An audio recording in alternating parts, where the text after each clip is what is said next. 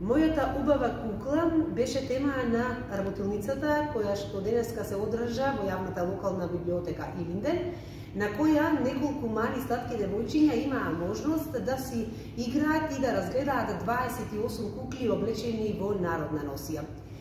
Девојчињата имаа можност да се запознаат со народните носии, од која земја потекнува оваа народна носија, која е незиното значење, а потоа имаа и можност да им дадат имење на сите кукли и да избереме три најубави. Им благодариме на сите дечиња што беа дел од оваа работилница и секако благодарност до нивните родители што ни помогнаа во реализирање на работилницата.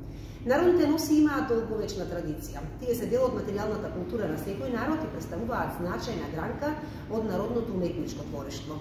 Создадени како колективна придобивка на секој народ, тие во долга низа години се пренесуваат од поколение на поколение и во својот развоен пат во себе вклопиле многу елементи од различни културни влијанија. Убаво е децата да знаат за нашите носи, нивното значење и нивната важност.